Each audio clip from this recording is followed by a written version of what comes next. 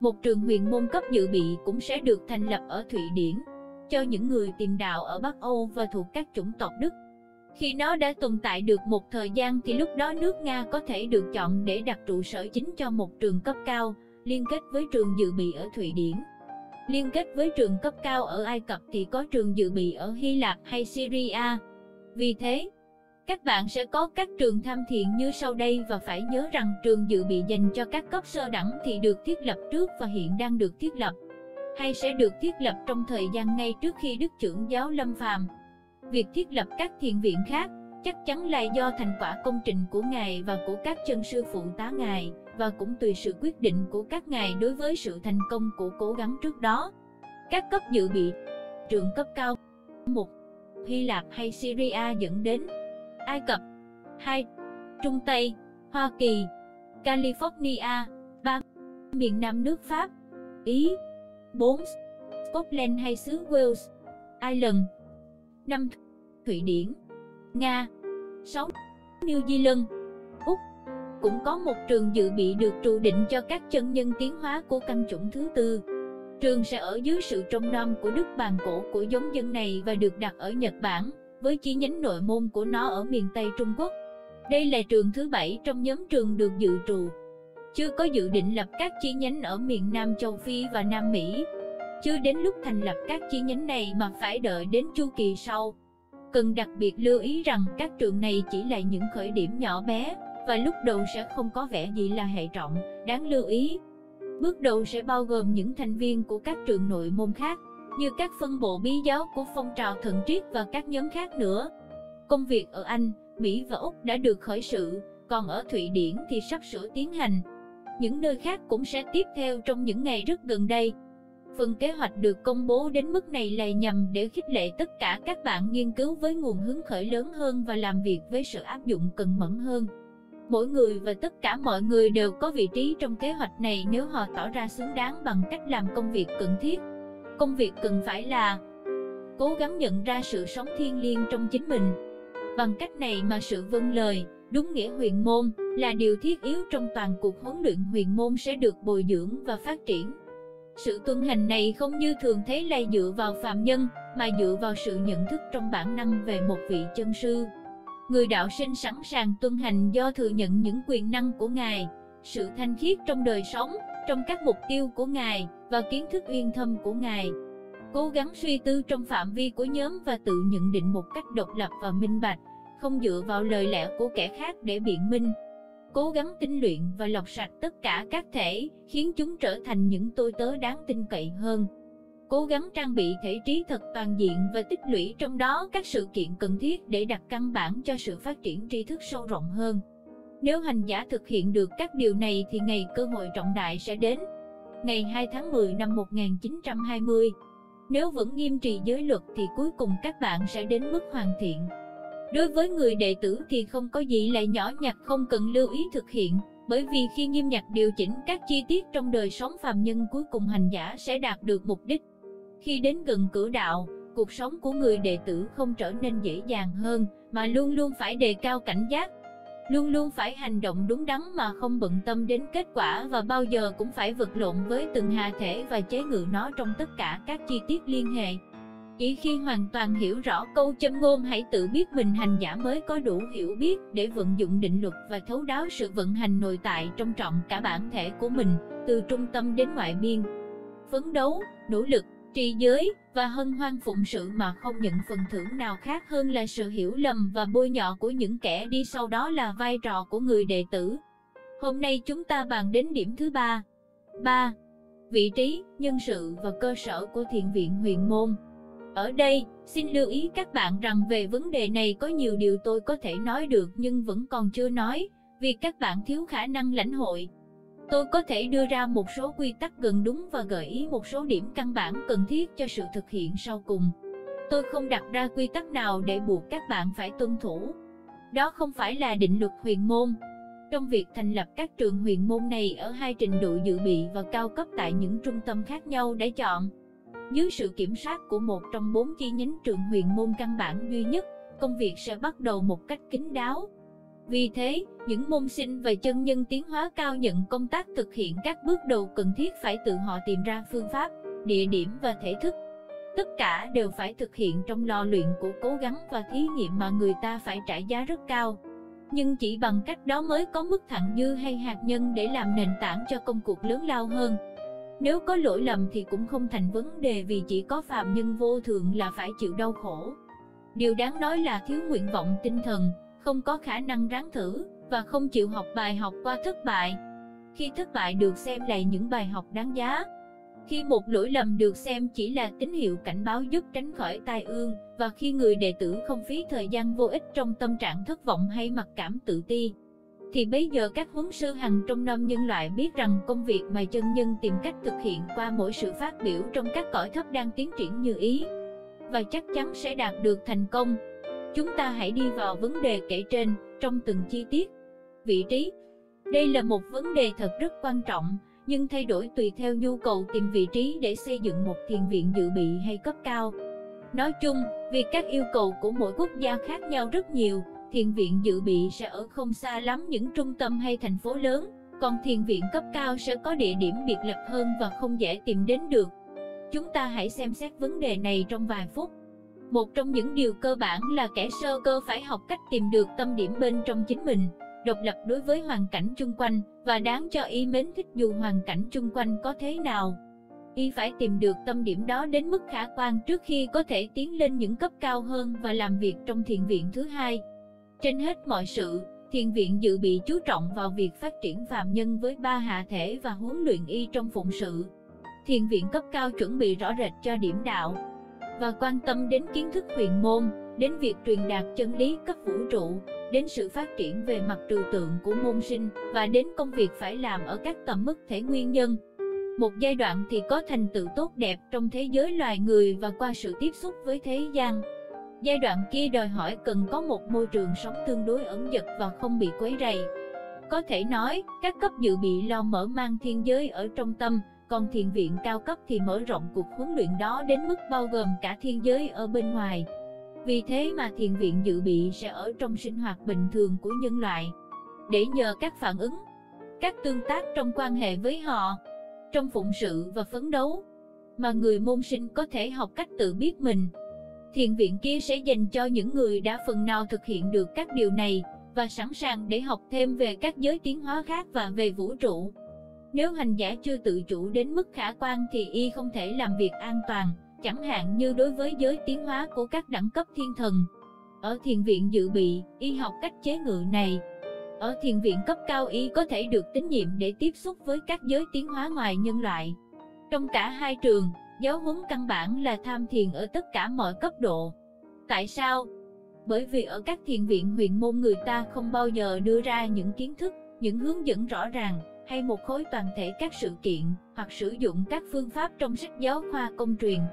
Chọn cả mục tiêu là chỉ nhằm đặt người môn sinh trong đường lối tự tìm ra cho mình những kiến thức cần thiết. Bằng cách nào? Bằng cách phát triển trực giác qua tham thiền, và bằng cách đạt được sự kiểm soát trí tuệ khiến cho minh triết của tam nguyên có thể tuôn xuống não bộ hồng trần, qua thể nguyên nhân.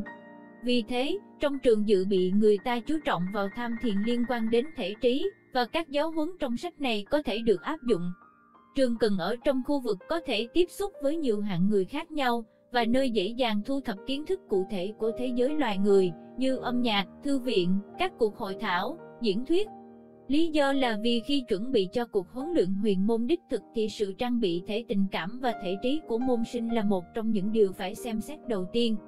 Khi việc này đã hoàn tất được phần nào, và khi vị hiệu trưởng có nhãn thông của trường thấy rằng sự nở nang của noãn hào quan thấp đã đến mức như ý, bây giờ người môn sinh sẽ được chuyển vào thiền viện cấp cao. Ý sẽ được dạy cách tiến từ trung tâm vững vàng của mình đến tiếp xúc với trung tâm vũ trụ, và từ khởi điểm trong y mở rộng tâm thức cho đến ngoại biên của hệ thống đại vũ trụ, và bao trùm tất cả mọi loài đang sống sống hiểu theo nghĩa huyền môn.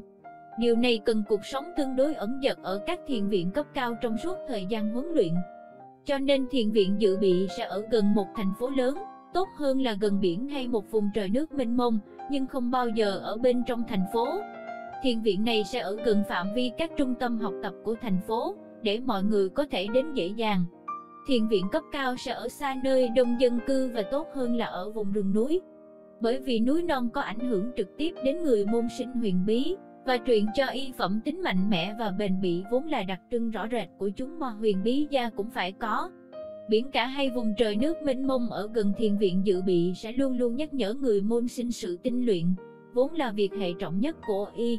Trong khi núi non giúp người đạo sinh cấp cao thấm nhuần nguồn sức mạnh vũ trụ và liên tục nêu cao trước mắt y cái ý tưởng về đỉnh núi điểm đạo mà y nhằm sớm được đặt chân. Đến mai chúng ta sẽ bàn về yếu tố quan trọng nói về nhân sự, ban giảng huấn của thiền viện và các loại trường sở.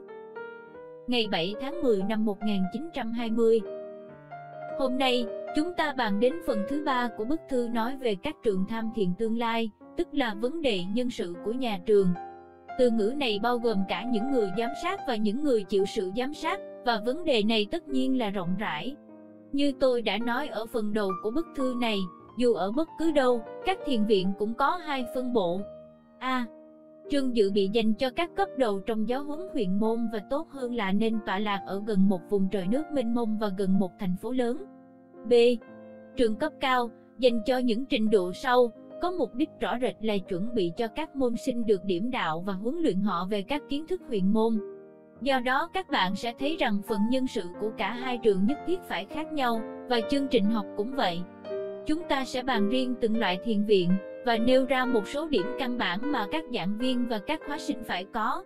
Trường huyền môn dự bị Đối với người đời bên ngoài, thiền viện này không có vẻ gì khác hơn là một trường cao đẳng thông thường.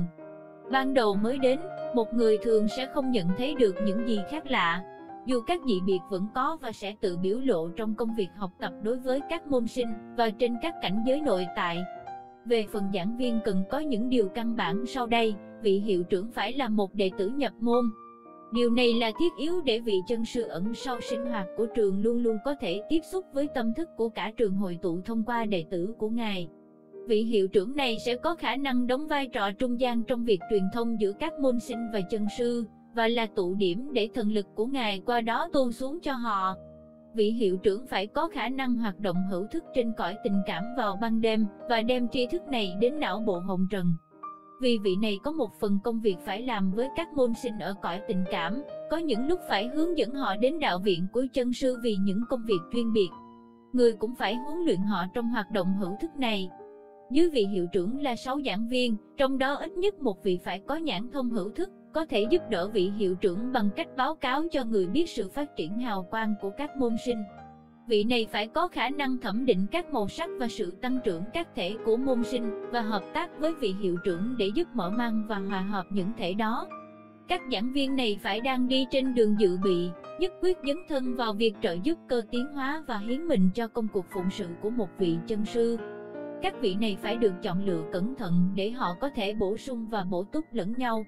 Trong trường họ hợp thành một huyền giai thu hẹp, cho thấy một phản ánh bé nhỏ ở cõi trần của kiểu mẫu huyền môn vì phần lớn công việc của họ là giúp phát triển hạ trí của môn sinh và liên kết nó với tâm thức cao siêu. Và cũng vì trọng tâm nỗ lực của họ là mau chóng kiến tạo thể nguyên nhân nên họ sẽ là những người có kiến thức uyên bác, bắt nguồn từ những hiểu biết trong phòng học tập, có khả năng giảng huấn và đủ tư cách ngang với các giảng viên chuyên môn của các trường đại học trên thế giới. Ở mỗi trường công việc của 7 nhân viên thành thạo này sẽ được sự trợ giúp của ba nữ nhân viên. Họ được chọn vì có khả năng giảng huấn, vì có trực giác phát triển và vì ảnh hưởng tinh thần và lòng sùng tính mà họ mang lại cho cuộc sống của các môn sinh. Mười vị huấn sư này được ủy thác công việc giúp môn sinh nắm vững những điều chính yếu quan trọng, trong năm sự thu hoạch các nguyên lý cơ bản của kiến thức khoa học huyền bí và giúp môn sinh phát triển thần thông cấp cao. Mười vị này phải là những vị đã hành thiện sâu sắc, có khả năng trong năm và chỉ dạy môn sinh về các cương yếu của thiền huyền môn ví dụ như những điều đã dạy trong sách này. Họ sẽ truyền đạt cho môn sinh những sự kiện huyền bí và các định luật căn bản mà ở trường cấp cao sẽ là chủ đề thực tập xác định của các điểm đạo đồ tương lai.